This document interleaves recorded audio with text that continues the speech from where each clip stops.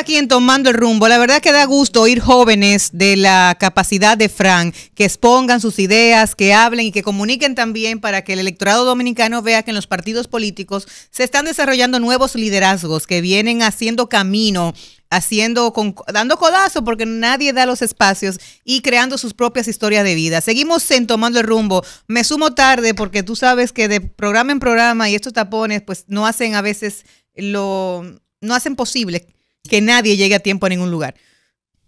Yo me quillo cada vez que cojo uno de estos tapones y me recuerdo que todavía la justicia no lo ha puesto a hablar a Hugo sobre el tema de los semáforos, porque aquí hay eh, privilegiados y delitos delincuentes preferidos. O sea, aquí la justicia dominicana no, el, la, porque no es la justicia, léase, la justicia son los jueces, la judicatura no. Estoy hablando de la Procuraduría General de la República. El Ministerio Público. El Ministerio Público tiene a sus reos preferidos, que tienen que ser peledeístas. Si no son peledeístas, Ah, ah. pueden matar Ah, y no pasa No nada. lo investigan. Mire ese niño que mataron en Higüey. Ah, sí. Le sacaron los dientes. Sí. Lo violaron. Más de 148 estocadas. Una tía, un grupo. Eso es terrible lo que está pasando en este país.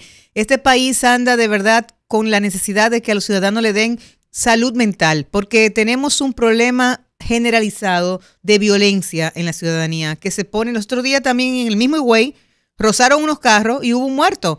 Inmediatamente desenfundan las armas y comienzan a tirar. Y es un tema de cómo anda la sociedad. Sí, la violencia. La violencia, pero esa violencia es fruto de qué? De la incapacidad que sienten las personas para resolver sus cosas, para resolver la vida. Claro. No hay trabajo, no hay empleo, porque trabajo pasamos todos. No hay empleos remunerados, el alto costo de la vida. Miren, yo estuve ayer caminando en el manguito y señores, eso da pena. Foto muy bonita. Sí, pero da pena la situación de la gente. La gente no tiene con qué comer. Esto no es un cuento. Lo que decía Miguel Vargas en el- su recorrido por el sur no es un cuento, es la realidad. Aquí la mayoría de los Sí, que le dominicanos. el granero del sur, no- ¿ahora se llama cómo? Claro, no El desierto el del desierto sur. del sur. Pero no tienen con qué con- tener las tres comidas diarias. Esa es la realidad que existe. Si tú escuchaste mucha gente ayer, No, no, tomaste no. tu tiempo. Tomé mi tiempo, Puerta a puerta. y- sentándome a escucharles. Porque esa es la idea. Mientras Domingo estuvo en la circunscripción 2, en un cara a cara multitudinario, donde todo el mundo se te avalancha, tú saludas.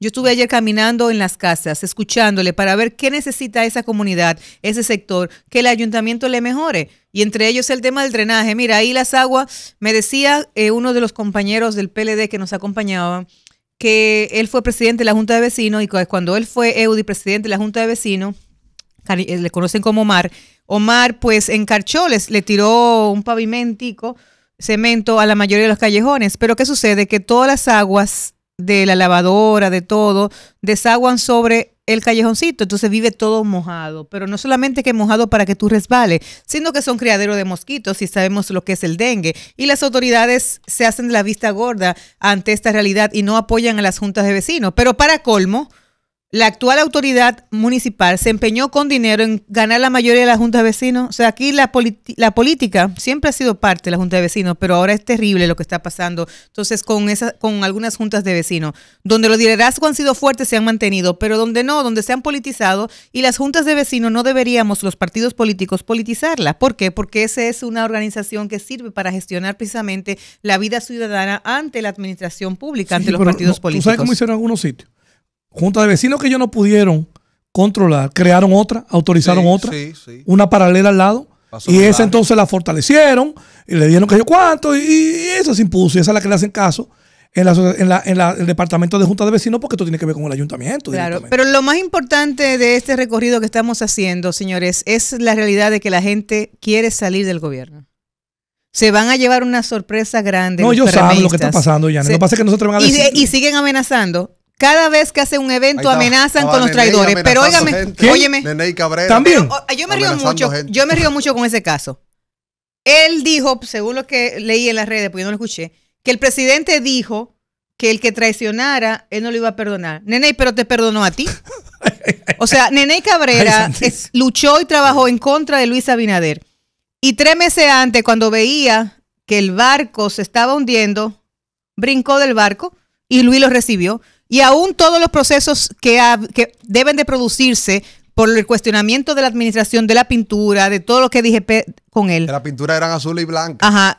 la justicia, no, la Liga de la Justicia, la Procuraduría la, no ha hecho nada con esos expedientes relativos con Nene Cabrera. O sea, si, si Luis Abinader lo soporta, lo mantiene en el PRM y lo mantuvo así, él, Luis Abinader va a perdonar a todo el mundo, viejo. O sea, que, ¿quién Nene para amenazando? Pero además... ¿Qué hacía Dios Astacio en Barahona, Janet? Bueno, estuvo en la... Astacio no era... De Santo Domingo Este. ¿Y qué hacía en Barahona? Eh, la marcha de Barahona, por cierto, estuvo eh, frem, eh, con muy concurrida.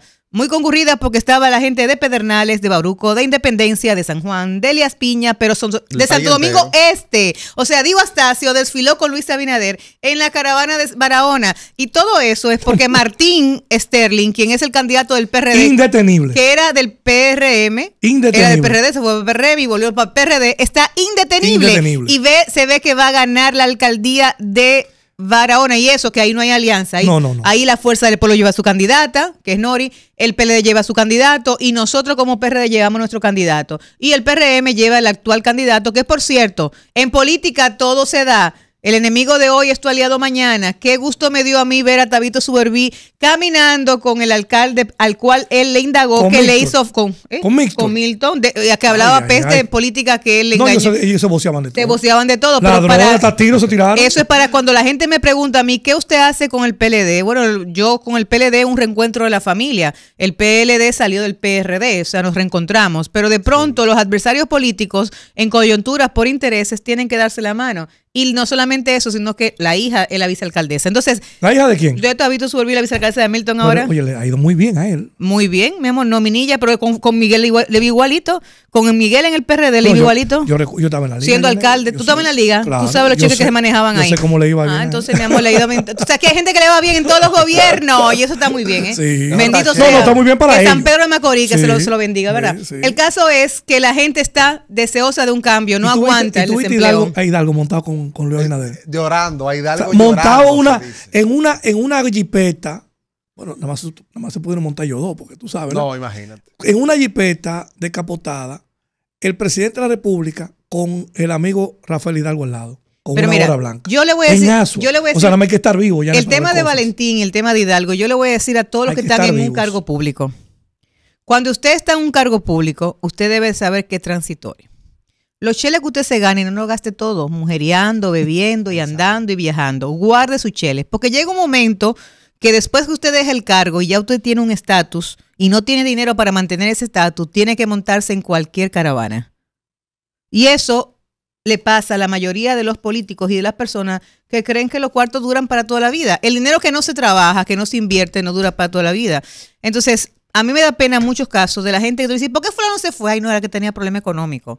Tenía muchísimo lío y no tenían cómo resolvérselo. Entonces, eso lío económico. La quería lo iba a meter preso sí, porque no mantiene Entonces la volvió otra vez. Entonces, y además, cuando tú dices, bueno, se fue del, del PLD, perfecto, se fue del PLD, se fue para la fuerza del pueblo, coño, va a luchar contra la oposición. Pero tú el que se da el paso hacia el gobierno. Al gobierno. Eh, para el gobierno. Entonces, al gobierno, al PRM, el que compra llega un día que encuentra quien lo venda y ustedes han comprado demasiado dirigente, se han dado la tarea de hacer todo lo que dijeron que no iban a hacer, han querido desmantelar el PLD, han querido desmantelar el, PR, el PRD, no lo han, por, le han dado cubo, cubeta con cubeta, y todavía el PRD sigue y el PLD sigue, y han tratado de disminuir la figura del presidente Leonel Fernández.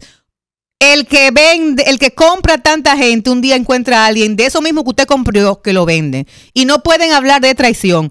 Porque lo que le hicieron a Peña Gómez fue una alta traición. Abandonar el PRD para fundar otro partido, eso no fue por mí, eso no fue a Miguel que lo traicionaron, eso fue a Peña Gómez. Y para colmo, quieren utilizar la figura de Peña Gómez. Ay, Peña Gómez en esa tumba, si tuviera, debe estar remolcándose, porque si hay algo que Peña Gómez quiso por encima de todo, fue el PRD. Cuando él sufrió él las estocadas de la traición, fundó el BIS, pero siempre se mantuvo en el PRD y hizo el BIS para cuidar al PRD. Lo que más quería José Francisco Peña es, el, es ese partido, el Partido Revolucionario Dominicano.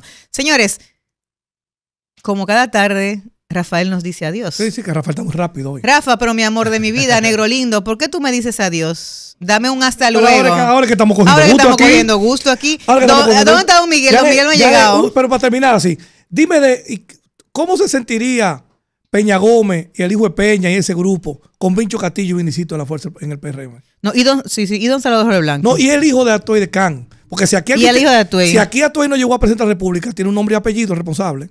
Así Sí. es. Vincho Castillo. Pero además nunca creyó en la reelección. Se le fue a Hipólito y también se le fue a Leonel Fernández. Esa fue la no división creía- del PRM, y se- del PRD, y se la le- no reelección. Y se fue del lado del presidente Fernández cuando el presidente Pero- Fernández se religió. ahora, sí le gusta la reelección al de Atuey. Bueno, pero que no- él, él no es Atuey. ¿Cómo es que el que vende es mucho, el que compra, El que compra mucho encuentra un día que dentro de esa misma que le compró, lo venden. Así que el PRM está con su crónica de una muerte anunciada, preparado porque le van a vender por como ustedes lo han hecho. Han tanto que han tratado de comprar y siguen comprando a los compañeros. Lo más grande es que los PRMistas, los PRMistas no están trabajando. En el manguito la mayoría que yo me No vi diga, no lo tienen nómina, no que vayan y lo nombren. No, Ojalá no, que lo no, nombren a no, todos en estos días, porque le si lo nombran fue porque yo lo dije. apuren. Apuren, vayan a nombrarlo. Aguanta que falta poco. Señores, llegamos al término de una entrega más de Tomando el Rumbo. Te recordamos que mañana, nueva vez, de 3 a 4 de la tarde, te esperamos por la 98.5 Rumba FM para que juntos sigamos Tomando tomando, el rumbo.